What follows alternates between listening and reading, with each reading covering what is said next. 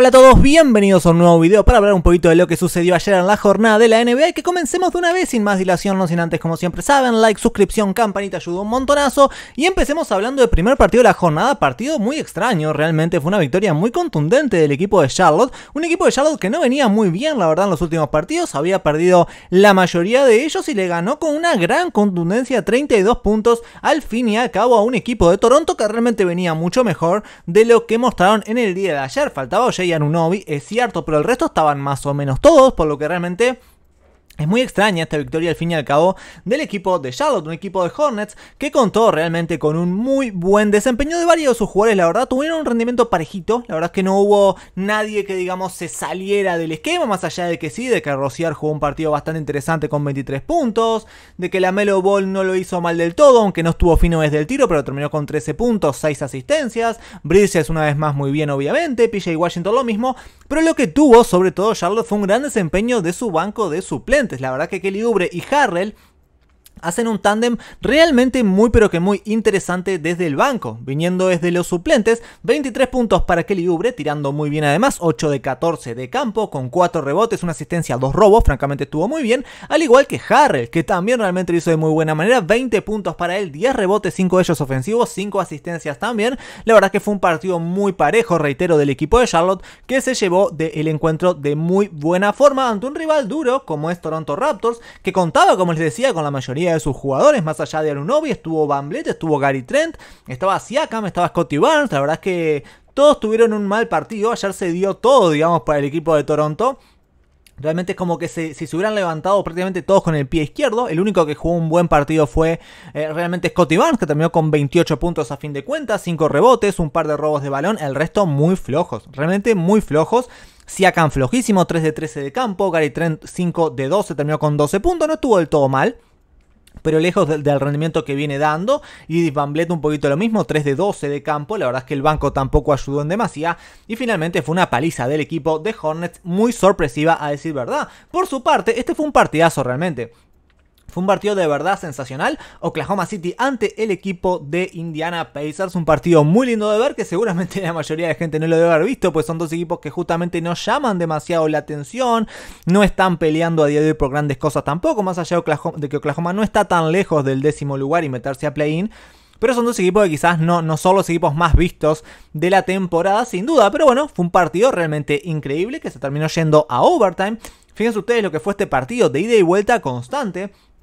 Empezó mucho mejor Indiana, lo supo eh, acomodar el equipo de Oklahoma, vuelve a sacar diferencia Indiana, lo vuelve a acomodar el equipo de Oklahoma que logró sacar unos 10 puntos de diferencia en algún momento, finalizando el, segundo cuarto por allí, pero fíjense ustedes que las, las ventajas que hubo fueron todas muy cortitas, de 10 puntos el máximo liderazgo, fue un partido de tú a tú, de punto a punto digamos, y que realmente se termina definiendo de una gran manera en tiempo suplementario, fue un partidazo, realmente un partidazo el que disputó estos dos equipos ayer con una actuación realmente sublime de Shai Alexander una vez más y como no podía ser de otra manera, volvía Shai después de algunos partidos sin jugar y se despachó con 36 puntos. Treman por su parte 22 puntos, la verdad que está jugando muy bien este joven de Oklahoma City, ¿eh? muy pero que muy buen desempeño a lo largo de la temporada, Basley también estuvo muy bien y un equipo de Oklahoma que sin Ludort y que sin eh, se termina llevando una victoria interesantísima ante un Indiana Pacers en el que no estuvo Chris Duarte, lamentablemente, pero volvía Malcolm Brogdon, que no está mal del todo tampoco, la verdad. Volvió el base titular del equipo. Hizo un buen tándem con Halliburton por allí. No tuvo en su noche más, más eh, soñada Malcolm Brogdon ni nada por el estilo, ni más fina desde el, desde el, tiro tampoco, pero la verdad es que no lo hizo mal. Halliburton 14 puntos, 11 asistencias, 5 rebotes, fue de lo mejorcito claramente del equipo, junto con Body Hill que terminó con 29 puntos al fin y al cabo, pero esto no fue suficiente para que el equipo de Indiana se lleve el partido ante un Oklahoma City que tenía a un Shai completamente inspirado y que realmente lo hizo muy bien en momentos muy decisivos. Otro partido que realmente seguramente tampoco captaba la atención de la del mundo general, digamos, de la NBA era el partido entre Rockets y Orlando Magic.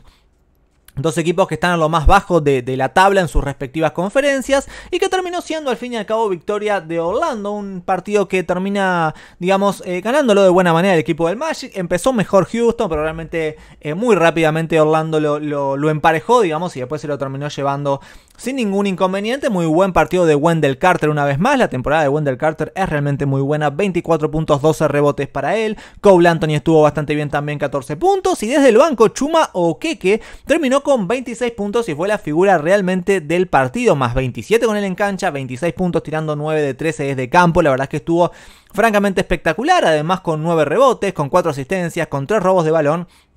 Lo de Okeke fue muy pero que muy bueno en el día de ayer. Un Okeke que le gusta mucho el anime, parece, porque se presentó al partido, digamos, entró al estadio eh, con, alguna, con alguna indumentaria de esa índole. Por su parte, Houston Rockets, eh, bueno, un Jalen Green, digamos que tuvo un buen partido, cosa que no está mal y se agradece siempre. Es importante que Jalen Green vaya despegando. Y un Kevin Porter que, bueno, sabemos cómo es. Lo de Kevin Porter, el trabajo de Kevin Porter, sabemos cómo cómo funciona. Tiene partidos muy buenos, tiene partidos de los otros. Ayer fue uno de esos de los otros, digamos. 2 de 10 de campo, 6 puntos apenas para él.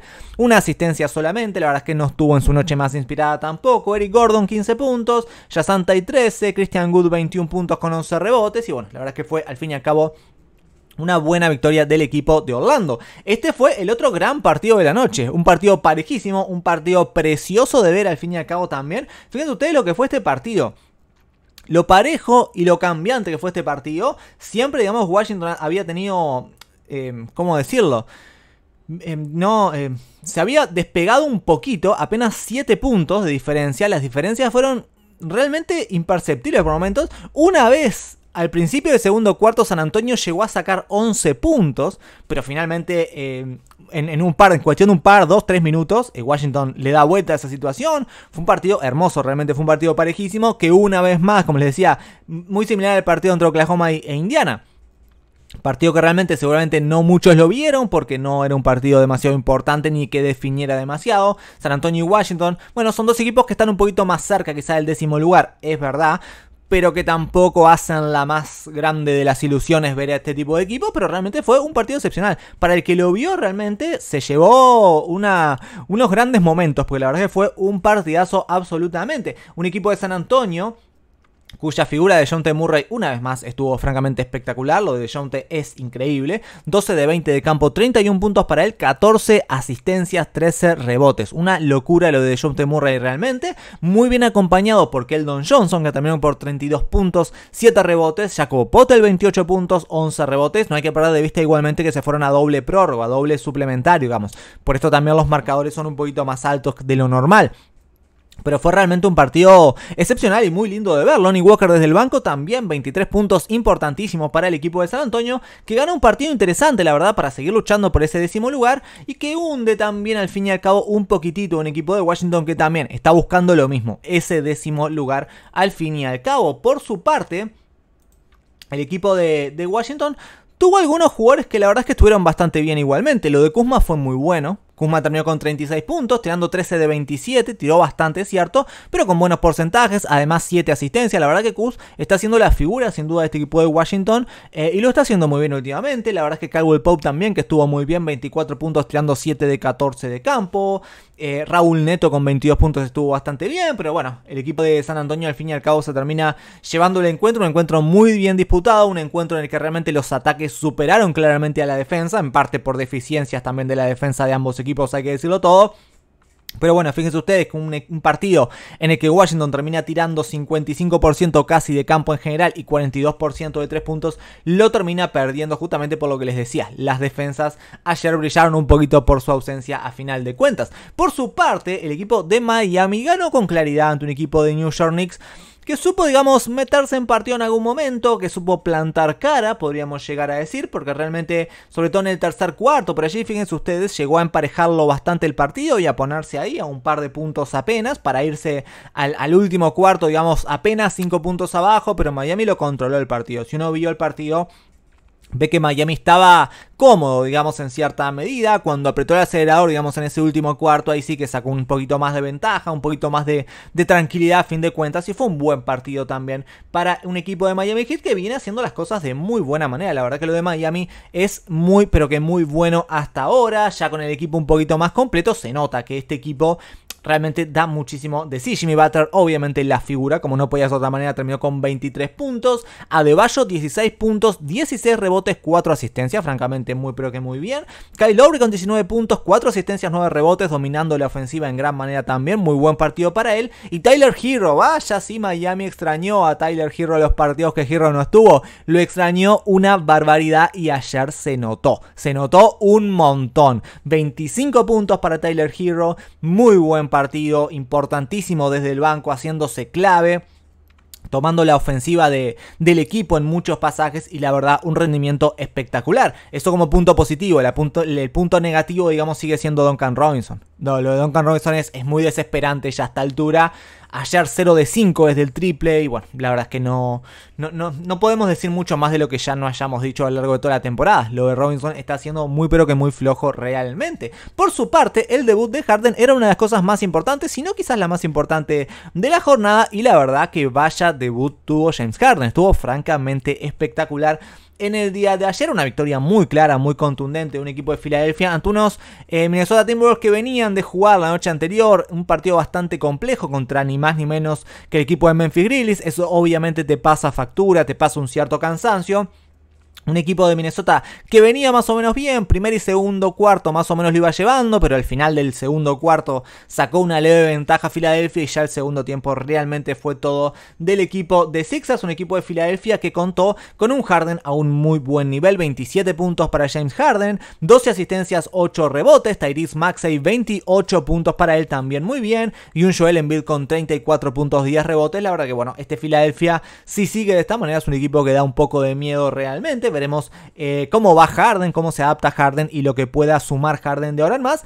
Pero este primer pantallazo que tuvimos en el día de ayer, la verdad es que fue excepcional. Sinceramente lo de Harden fue sublime y lo hizo de verdad, de verdad, de gran manera. Partidazo en líneas generales del equipo de Filadelfia. El propio Joel Embiid dijo al finalizar el partido que nunca había tenido tanto espacio dentro de una cancha. Y es cierto, pues jugar con Harden te abre un montón de espacio. Harden es un jugador que sabe jugar muy bien, o sea, y hacer jugar a los demás también. Es un jugador que acapara muchísimo la pelota, también hay que decirlo todo.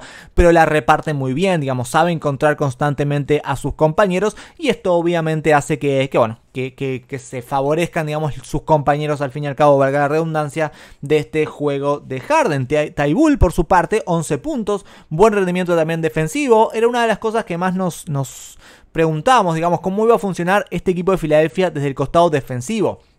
La verdad es que Minnesota todavía no es un parámetro muy fuerte, porque la verdad es que Minnesota a lo largo de la temporada no se ha mostrado como un gran equipo ofensivo. Defienden mejor de lo que atacan, increíblemente. Pero bueno, veremos qué pasa cuando tengan rivales, de un poquito más de jerarquía. Pero reitero, el primer pantallazo que tuvimos de Philadelphia 76 ayer es muy bueno. Sinceramente, es muy bueno. Si este es el equipo, digamos, que vamos a ver de ahora en más, ojo con Filadelfia porque realmente puede hacer cositas muy pero que muy interesantes de cara a lo que se viene y si se ve una evolución que es obvia y, y propia digamos de un equipo entre comillas nuevo porque la incursión de Harden te arma un equipo medio nuevo de ahora en más digamos que es un equipo que puede dar muchísimo, muchísimo que hablar. De parte de Minnesota, bueno, la verdad es que eh, D'Angelo Russell tuvo un muy buen partido, terminó con 21 puntos por allí. Carl Anthony Towns 25 puntos. Fue un partido que se liquidó muy rápido, digamos. Y que bueno, ven ustedes que los jugadores de Minnesota en general jugaron más bien poco, porque claramente no, no hacía falta. Terminó jugando un montón Nas un montón McLaughlin. La verdad es que eh, no, no, tuvo un buen encuentro Minnesota en el día de ayer. Anthony Edwards terminó con números más o menos interesantes, pero ya con el partido también medio liquidado. Entonces, el primer tiempo de Anthony Edwards, que todavía el partido estaba en, en, ese momento, digamos, fue bastante malo el primer tiempo. Y qué sé yo, D'Angelo estuvo bastante bien en ese primer tiempo también. Y Kat más o menos. Fueron los que llevaron más o menos. Mientras el partido estuvo parejo la pauta del equipo de Minnesota, pero al fin de cuentas eh, fue un partido muy flojo del equipo de Timberwolves. Eh, y bueno, una victoria obviamente muy, muy destacada del equipo de Philadelphia 76ers. Por su parte, primer partido de Phoenix sin Chris Paul. Si este es el pantallazo que vamos a ver de Phoenix de ahora en más sin Chris Paul, la verdad que puede llegar a estar complicada la cuestión. Muy buen triunfo de New Orleans, muy buen triunfo a decir verdad.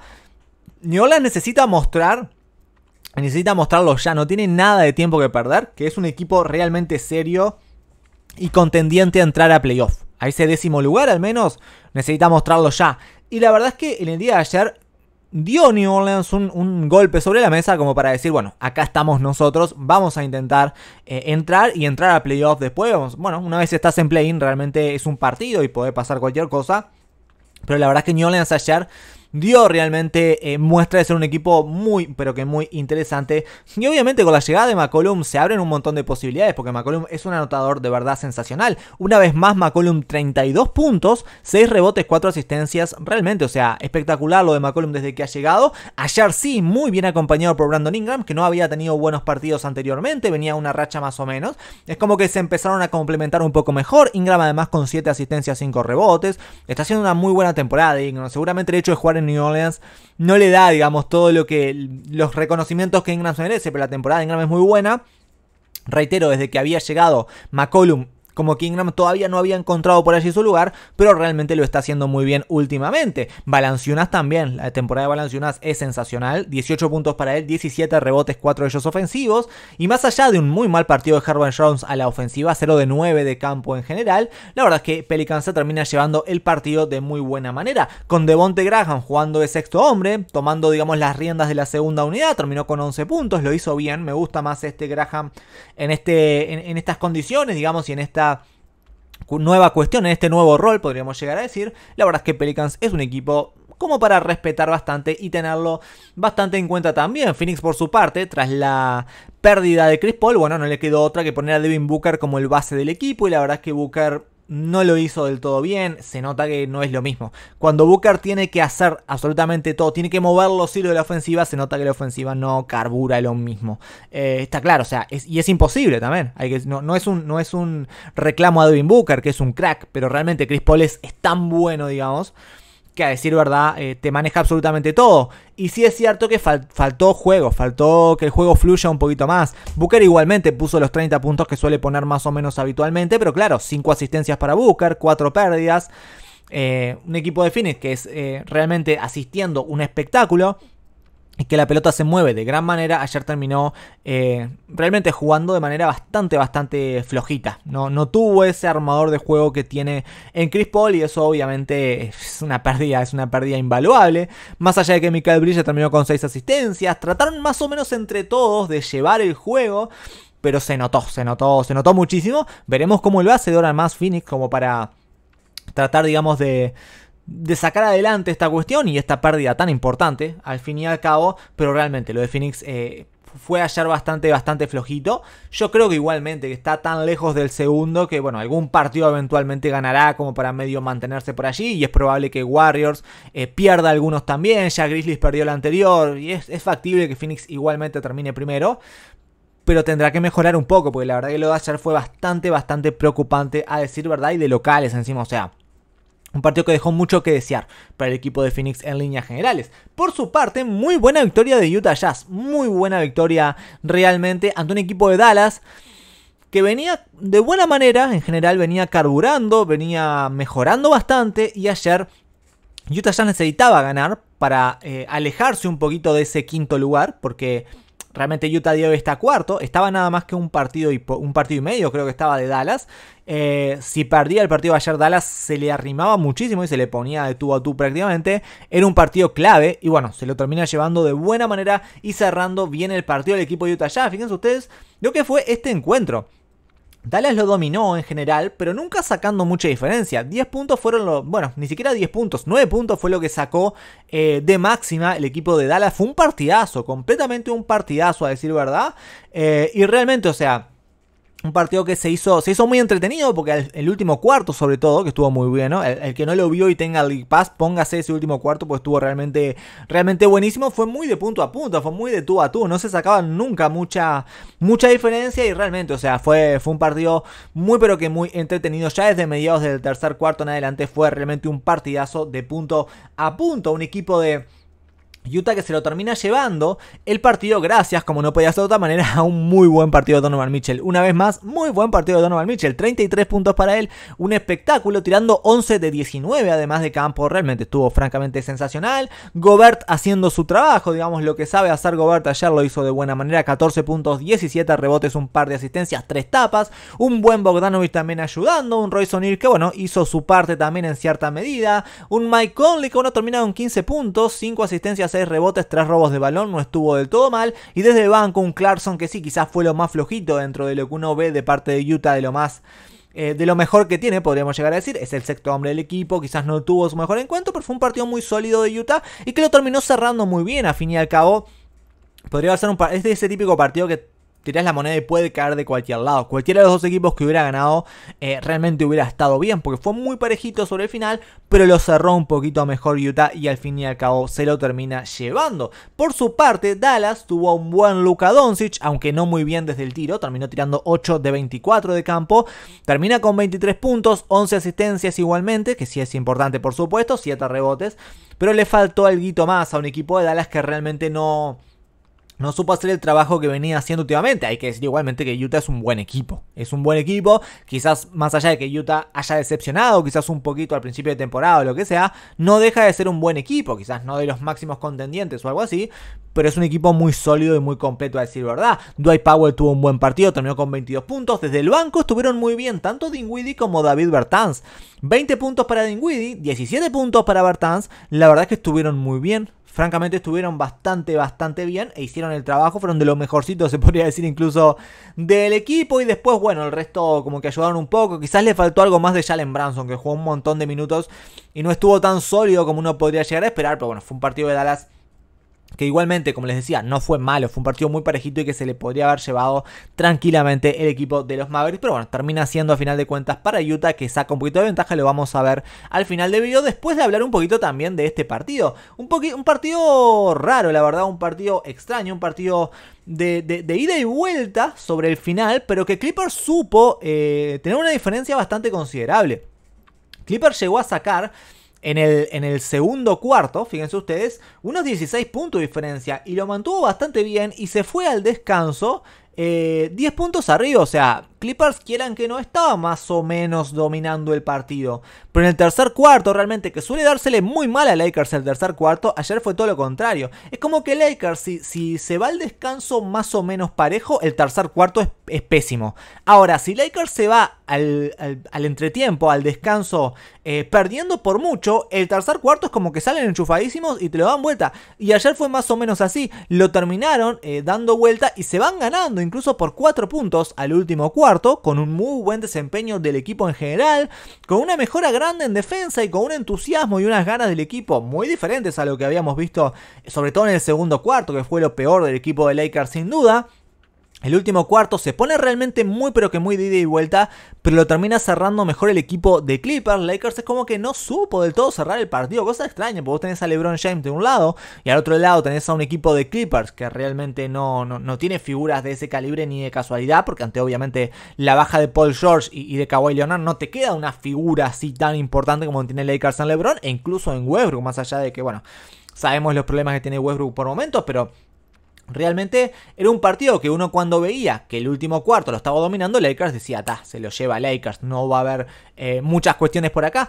Pero no, todo lo contrario, realmente Clippers lo cerró mucho mejor gracias a una gran defensa de Clippers. Realmente Clippers es un equipo que defensivamente es un espectáculo. Es increíble lo de, Lakers, lo de Clippers, perdón, y un Lakers que no supo encontrar a la vuelta y sobre, sobre todo, como les digo, o sea, cerrar el partido. Fue lo que le faltó a Lakers, cerrar el partido. Porque más allá de que estuvieron muy mal, sobre todo en ese segundo cuarto que les comentaba, supieron darlo vuelta, supieron encontrarle la, manera, digamos, de dañar a Clippers, pero no supieron cerrarlo, no supieron... Eh, y es algo que le pasa mucho a Lakers en general, le ha pasado toda la temporada, partidos muy parejos y que realmente terminan perdiéndolo porque no saben cómo, cómo hacer en momentos finales y cometen errores a veces, a veces muy tontos. Un equipo de Clippers que tuvo un partido realmente muy destacado y muy parejito de varios de sus jugadores. Fíjense ustedes, la cantidad de jugadores en doble dígitos del equipo de Clippers es realmente una locura total. Fíjense ustedes, todo el apoyo que tuvo Lakers en el día de ayer. Marcus Morris con 10 puntitos, Terrence Mann con 19. Terrence Mann está jugando mucho mejor últimamente. Es cierto, eh, no había tenido un buen inicio de temporada, pero últimamente como que se ha acomodado un poquitito. 10 rebotes, 4 asistencias, 3 robos además para él. Reggie Jackson 17 puntos. Y desde el banco, Hartenstein con 11. Eh, Luke Kennard con 18 puntos, 5 de 8 es el triple. La verdad que la temporada de Kennard es muy buena también. Amir Coffey 10 puntos. Robert Covington 10, eh, perdón, Amir Coffey 14 puntos. Eh, Robert Covington 10.7 rebotes, un par de asistencias, un par de robos, tres tapas, la verdad que estuvo muy bien también Covington en líneas generales y fue un partido súper sólido de un equipo de Clippers que realmente se lleva una victoria importantísima y súper clave porque le saca más diferencia al equipo de Lakers. En caso de que queden empatados realmente logra, digamos, eh, sacar una ventajita también, porque ya le había ganado algún partido anteriormente, y bueno, otra tranquilidad por allí también. Y la verdad es que de parte de Clippers, bueno, puede dormir un poquito más tranquilo en estas próximas semanas, que con todas las bajas que ha tenido Clippers, la verdad que no es poca cosa. De parte de Lakers, la verdad que, bueno, LeBron James fue de lo mejor del partido una vez más, es cierto, pero igualmente no tuvo un gran partido LeBron, hay que decirlo todo. 21 puntos para él con 11 rebotes, tirando 6 de 18 de campo. Reitero, ¿fue de lo mejor del equipo? Probablemente sí, pero no tuvo un gran partido igualmente LeBron James, muy lejos del nivel que le conocemos y que tiene habitualmente. Howard sí que estuvo bastante bien, 14 puntos, 16 rebotes, 7 de ellos ofensivos, por momentos fue muy importante dentro de lo que fue el equipo de Lakers y hizo, digamos, muy bien las cosas, o sea, cumplió con su rol, podríamos llegar a decir, de rebotear y hacerse fuerte en la pintura. Sobre todo cuando tuvo a Suba que enfrente realmente logró, digamos, eh, hacerse fuerte por momentos. Westbrook tuvo un partido, bueno, más o menos, no estuvo tan, tan mal, no perdió ninguna pelota, es cierto, una asistencia sola. Es un Westbrook diferente al, Westbrook que veíamos hace algunas temporadas. Tiró 9 de 21 de campo, 18 puntos para él. Mm, partido flojo, digamos, pero bueno, si a Westbrook se le pide que no sea Westbrook, tampoco esperen que tenga grandes partidos, porque le están pidiendo justamente algo que en lo que él no brilla demasiado, digamos, al fin, al fin de cuentas. Entonces, bueno, es lo, que hay, digamos, para Lakers. Es como elegir el veneno. O, Westbrook es Westbrook y, sabes que te da y te quita, digamos, siendo Westbrook. O le pedís a Westbrook que no sea Westbrook y te da lo que dio ayer, digamos. Es, Lakers tendrá que definir a ver qué es bien lo que quieren. Malik Monk desde el banco no tuvo tampoco su mejor encuentro, 3 de 9 de campo, 7 puntos para él. Viene en el rol asistidor, terminó con 6 asistencias realmente bastante, bastante bien, 0 pérdidas además pero no fue todo lo explosivo que uno espera de Malik Monk. Carmelo Anthony volvía y estuvo muy bien. 18 puntos para Carmelo, 5 rebotes, tirando 7 de 14 de campo. La verdad es que el partido de Carmelo fue muy pero que muy bueno. Y Horton Tucker no tuvo un mal partido tampoco, 16 puntos para él, 6 de 9 de campo. Pero no fue esto suficiente para que Lakers le termine ganando el partido. Un equipo de Los Ángeles Clippers que lo cerró mucho más inteligentemente y obviamente mucho mejor. Y se lleva un punto importantísimo por lo que les comentaba. Fíjense ustedes que a partir de esto termina quedando eh, así la cuestión. Fíjense ustedes, 31-31 para Clippers a día de hoy, récord de 50%, y Lakers ya está a dos partidos y medio. Es bastante realmente, y es un colchón que tenés faltando, como faltan 20 partidos más o menos para que termine, que es poquito en general. Es un colchón interesante, digamos, dos partidos y medio faltando 20 partidos ya es algo como para tener en cuenta. Y lo que les decía, o sea, Clippers ya le ganó un par de partidos a Lakers, por lo que realmente tiene también por allí esa, esa ventajita a tener en cuenta que no es poca cosa. Por su parte, Lakers si sigue bajando tendrá problemas. Es una ventaja importante la que tiene Lakers también. Es la misma ventaja que tiene del octavo al décimo. Dos partidos y medio. Veremos cómo le va a Lakers. Tres partidos y medio a San Antonio y New Orleans. Si New Orleans hace un muy buen sprint final y San Antonio, digamos, hace las cosas más o menos bien, ojo con Lakers. Poland, no sé qué pasará con ellos, sinceramente. Pero la verdad es que ojo, ojo con Lakers porque no está nada, pero que nada bien. Un equipo de Minnesota que le lleva a Lakers ya cuatro partidos, eh, o cinco partidos más bien. La verdad es que también es bastante, no, cuatro partidos, perdón, le lleva Minnesota al equipo de, Lakers. Y bueno, lo que les decía también de parte de Utah. Para Utah era importante por esto mismo. Fíjense ustedes que a partir de la victoria de ayer, eh, está ahora mismo Utah dos partidos y medio arriba del equipo de Dallas que si hubiera perdido ayer estaría nada más que medio partido arriba, que no es nada obviamente. Entonces, bueno, fue una muy buena victoria a final de cuentas también del equipo de Utah Jazz. Por su parte, Phoenix sigue puntero, más eh, cerca, digamos, Golden State Warriors, se acerca eh, un partido después de, la, victoria de Warriors ayer y la derrota de Phoenix, bueno, como que se acerca un poquito Golden State, veremos si le da como para pelearle sobre el final. Memphis ha quedado como un poquito relegado después de la derrota que tuvo el otro día, ya 8 partidos y medio, faltando 20 Tendría que ganar todo Memphis de ahora más y, descalabrarse de una manera descomunal el equipo de Phoenix como para que pase algo. Pero Warriors a 6 partidos, bueno, puede pasar cualquier cosa, podríamos llegar a decir.